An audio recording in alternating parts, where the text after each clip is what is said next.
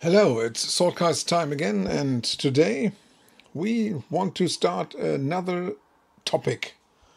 Because while I was sitting on the last Swordcast episode and thinking about what I could talk about and what I would bring for information to you, I was getting curious about all the creatures we have to fight against in the Black Sword.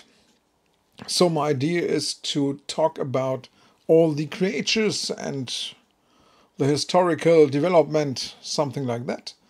If you are curious, I'd like you to listen to what I have to say, and if you aren't, stop the Swordcast right now. So, please, welcome to our today episode about fascinating mythical creatures. Today we are going to delve deep into the mysterious world of Ah, not so fast. Maybe you'll figure out yourself. I'll tell you about the origins of these mystical creatures. I also have some interesting anecdotes for you. Make yourself comfortable and let yourself be carried away into the world of fairy tales and legends. They are called leprechaun, brownies, lutin, tomte, nisse, duende, folletto, domovoi, or zashiki warashi. Do you already know? Of course, today it's about the goblin. Today we are talking about the German word kobold, which is often translated, wrong in my opinion, into English as goblin. I'll try to make the story as understandable as possible for you. Let's start with the origins of the goblins. The term kobold comes from German and has been known since the Middle Ages. Goblins are small, mischievous creatures that live in houses, stables, and mines. They are often invisible, but sometimes they appear in human form or as animals. Goblins are known for doing good as well as playing pranks. Their stories and characteristics vary by region. The origins of goblins can be traced back to the pre Christian religions and myths of the Germanic and Celtic peoples. They were considered to be protective spirits who guarded the house and livestock, but also tricky creatures who played tricks on people if they didn't follow certain rules. These little spirits were often seen as helpful but mischievous residents of the house who protected the home but could also cause disorder if they felt neglected.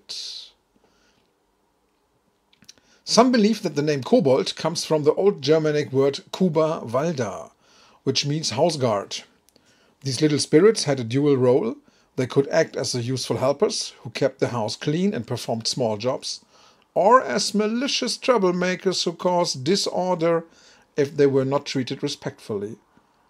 Other sources say that the word kobold is made up of the words kobe, that's what people used to call a house. Even today, many still refer to a pigsty as a koben and hold, which means something like liking something or someone in particular. Or is the root the Latin kobalos, which means something like mountain spirit? The Greeks also have their kobalos, which is what a rogue or mischievous fellow is called. Maybe just a mixture of all these? Decide for yourself what you like best.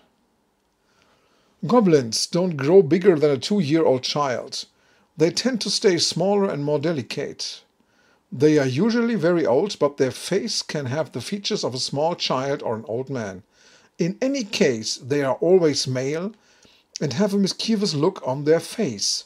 They don't always pay attention to their clothing, and so it can happen that they wear old, frayed clothes. A special feature is their long pointed ears, which they need because they don't miss anything. Goblins also like to wear funny hats, which show off their sometimes green or red hair particularly well. In general, a goblin's face is a very special feature. He can have a particularly large or funny nose, and his mouth also has different shapes. The eyes of all of them flash out of their faces in a funny and cheeky way and are also noticeably large. Now to one of the most well-known German legends, the Heinzelmännchen of Cologne. These small, helpful creatures are said to have helped the citizens of Cologne with their work at night, so that they would find everything ready in the morning. It is said that a long time ago the citizens of Cologne had a lot of work to do every night. The Heinzelmännchen, who remained unnoticed, did this work in the dark. The baker found his bread rolls baked, the shoemaker his shoes finished, and the tailor his clothes sewn. The city flourished and everyone benefited from the invisible help. One day, however, the curious wife of a tailor became suspicious. She could not believe that all this work was done by themselves and was keen to see the Heinzelmännchen. She scattered peas on the stairs in the hope that the little helpers would stumble and show themselves. When the Heinzelmännchen came at night, they actually fell down and were so annoyed that they left the city forever. Since then, the people of Cologne had to do their work themselves again, and the city's productivity decreased. In fact, the story was only passed down orally for many centuries. It was not until 1824 that the poet Ernst Weyden was inspired to write a ballad about it. For the first time, there was a written document about the Heinzelmännchen from the Siebengebirge. That's where the legend originated and was passed on from generation to generation, which the author conveniently simply moved to Cologne. From this ballad, the poet August Kopisch in 1836 made the following poem, a kind of ballad reloaded. Incidentally, August Kopisch never visited Cologne himself, just as the Heinzelmännchen probably never visited Cologne. And this is what the poem sounds like. How things were so easy in Cologne before, with Heinzelmännchen we asked for no more. If you were lazy, you just take a nap, lie on the bench, no work in your lap, for at night they'd come, when all was still and dumb, those little men would swarm, and with noise and storm would pull and tug and jump and run and clean and scrub, and before a lazy soul awoke, their daily work already spoke. The carpenters stretched out on shavings to rest, meanwhile the spirits would do their best. They saw what needed to be made, took chisel and axe and saw without delay, they sawed and they cut and they hammered and struck, they shaped and capped, survived like hawks and set up the box. Before the carpenter knew, clapped the house, stood there true. No need for the baker to fret. The Heinzelmännchen baked without a let. The lazy boys would sleep where the little men could creep. And struggled with heavy sacks and kneaded and weighed to the max. They lifted and shifted, they swept and baked. They beat and raked while the boys snored away. The new bread was on display. At the butcher's it was just the same, journeyman and apprentice in slumber came. Meanwhile the little men would hack the swine, cut it crossways fine and fine. They worked so fast, like a mill's blast. They chopped with cheevers, carved out with levers, they cleaned, they schemed, they mixed and they mashed, they stuffed and they dashed. When the journeyman opened his eyes, wham! Sausages hung for sale with price. In the tavern, oh how it went! The cooper drank till his strength was spent. He slept against the hollow cask, the little man would do the task.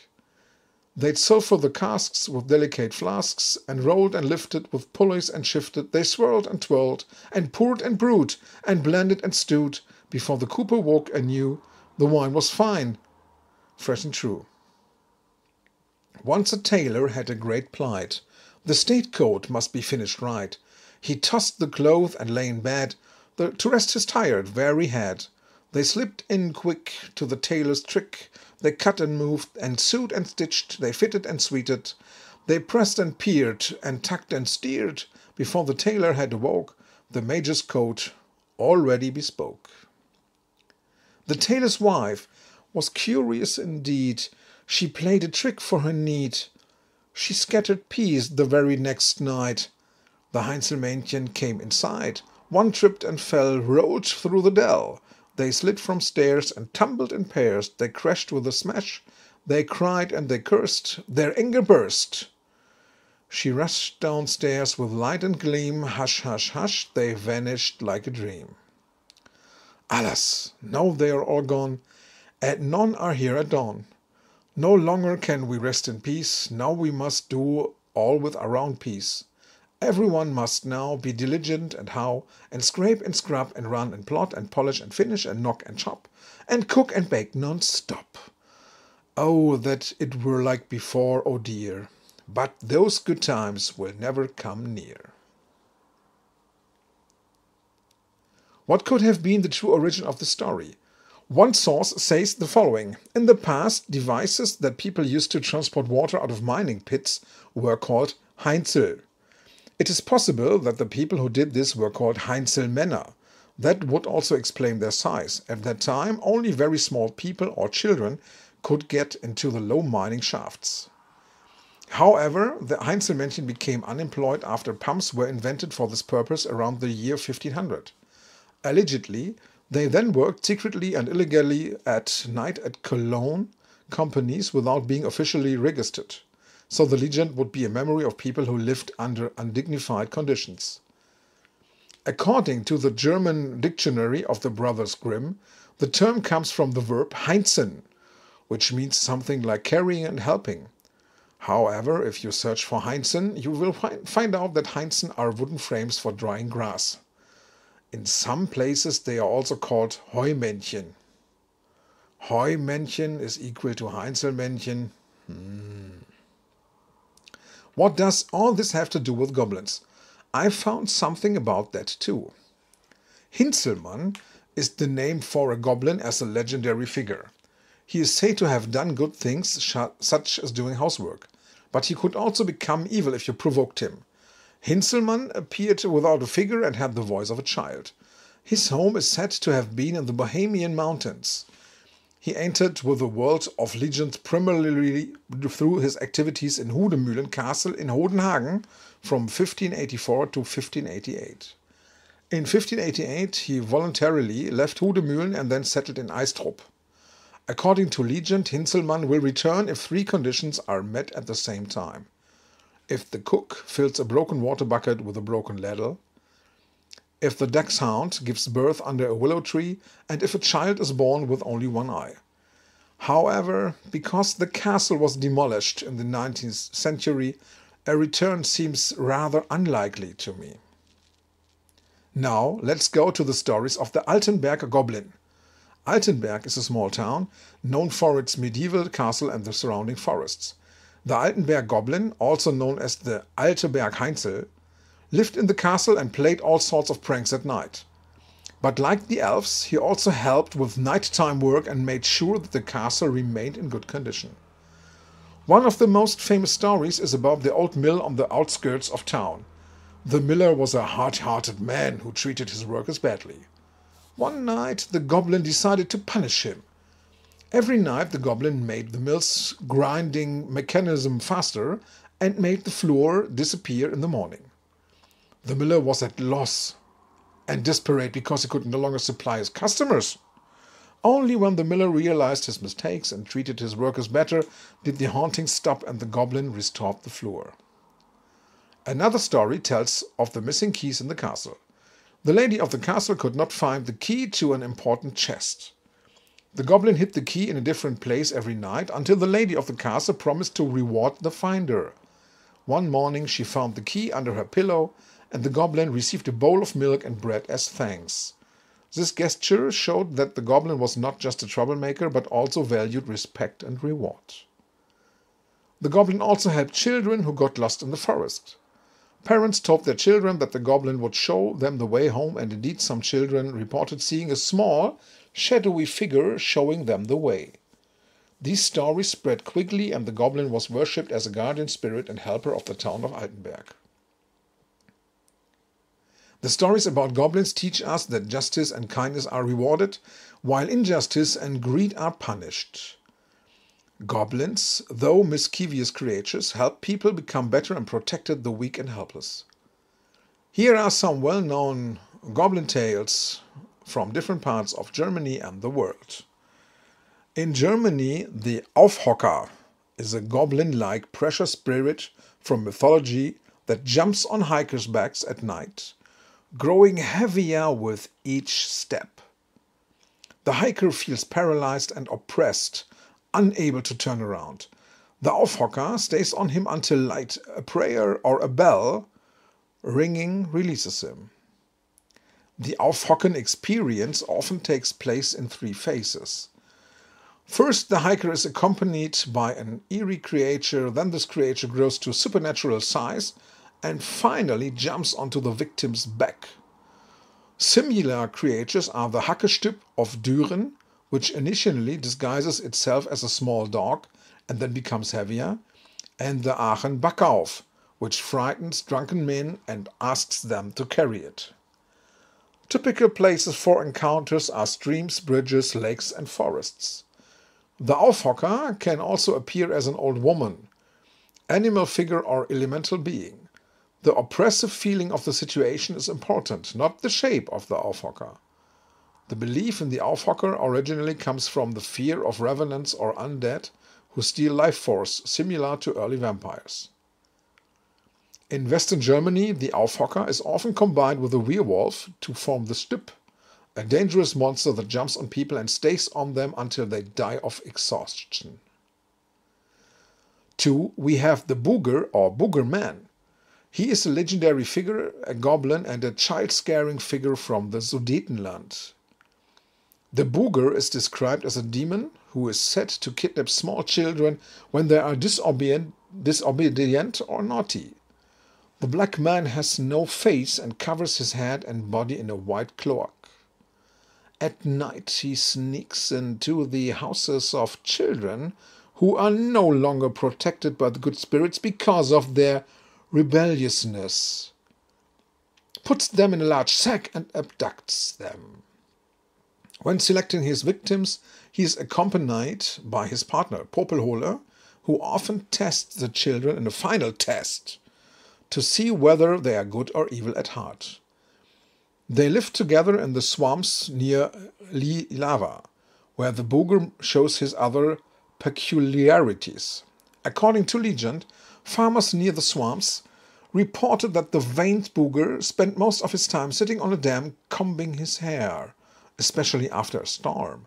But when adults approached him, he immediately disappeared without a trace. As soon as he wasn't taking care of his hair, he danced happily with his companion or alone, which, despite his cruelty, earned him the reputation of being an actually happy goblin in some stories. Dance, dance, boogerman around our bay. If it wasn't the boogerman, I'd give some bucks away. In a newer version of the legend, there are a whole series of boogermen who met on the Booger Hill after their raids and danced together. The name Booger probably comes from the Polish ruler Popiel II. He was considered particularly cruel, met a violent death, and, according to legend, was eaten by mice. According to another theory, the term comes from the Silesian dialect. Here, picking means to cover something up. A booger or barley booger is a covered scarecrow. Where there's a man, there's usually also a male. In our case, the Poplitzer Popelmännchen. That's what the house spirit of Poplitz Castle is called. Bernhard Friedrich von Krosigk lived from 1656 to 1714. He had Poplitz Castle built on the foundations of an older building. From the previous building, he had a cornerstone with a strange stone figure, popularly known as the Popelmännchen, inserted into the northeast corner of his castle at a height of about 6 meters. According to legend, the construction of the castle was significantly hampered by a goblin who every night partially destroyed the work of the day. Finally, a man dressed in a robe advised the builder to dedicate part of the building as a chapel in order to put an end to the mischief. After this had happened and the goblin appeared again, he was hurled high against the corner pillar by an invisible force and turned into stone. All attempts to remove this strange figure out of a climbing cat failed. But the construction work now progressed quickly. At midnight, the goblin enchanted in stone descends and wanders through Poplitz at the witching hour in the form of a small grey man with fiery eyes and short, crooked legs. In Marvel Comics, there are several characters known as goblins, including the Green Goblin and the Hobgoblin. These characters are primarily associated with Spider Man and have their origins in the 1960s and 1980s. The Green Goblin had his first appearance in Amazing Spider Man number 14 in July 1964, and the Hobgoblin had his first appearance in The Amazing Spider Man number 238 in March 1983. The creation of the Green Goblin and the Hobgoblin has had a lasting impact on the Marvel Universe, and Spider Man stories in particular. Both characters are deeply rooted in Spider Man's history and mythology and have made numerous appearances in various media, including animated series, films, and video games. And this connection to chemistry still exists. Cobalt ores and cobalt compounds have been known for a long time and were used as cobalt blue mainly to color glass and ceramics. In the Middle Ages, they were often thought to be valuable silver and copper ores. However, since they would not be processed and gave off bad smells when heated due to their arsenic content, they were considered to be bewitched. Goblins were said to have eaten the precious silver and excreted less valuable silver colored ores in its place. In addition to cobalt, these also included tungsten and nickel ores. The miners then gave these ores derivative names such as nickel, tungsten, and goblin ore. In 1735, the Swedish chemist Georg Brandt discovered the previously unknown metal while processing cobalt ores, described its properties, and gave it its current name. In 1780, Torbern Olof Bergman discovered that cobalt is an element when he examined its properties in one more detail. Oh, I almost forgot this fabulous vacuum cleaner called Kobold from a German manufacturer, which, by the way, has been around for almost 95 years. The story is not so spectacular. It looks like a goblin, the chief designer secretary is said to have exclaimed when she saw this device for the first time. That's it for today. I can't say anything more about goblins, all without guarantee of accuracy and even completeness. I hope you enjoyed the stories about goblins. If you want to find out more about the fascinating world of fairy tales, stay tuned and don't miss the next episodes. Until next time, stay curious and goodbye. All the best, see you soon, your Spencer.